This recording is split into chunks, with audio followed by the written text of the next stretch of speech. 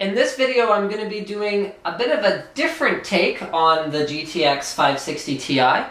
So I know I included a lot of games with tessellation as part of the overall uh, visual package that they include, including HAWX 2 as well as Metro 2033, when I did my full 560 Ti as well as tessellation information video review on my NCIX.com channel, which you should check out.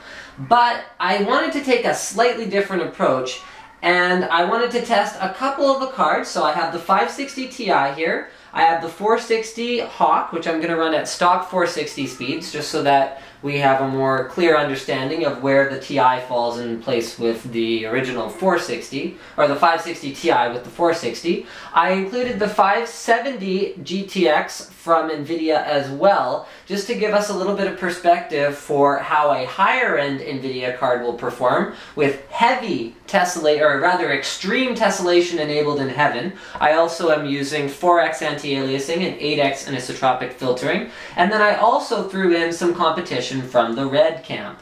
So I have the uh, Radeon 6950, and then I also have a Radeon 6870. So these are both positioned um, well, close to, uh, a little under and then within spitting distance of the pricing of the GTX 560 Ti. So let's see how these cards compare in an extreme tessellation benchmark.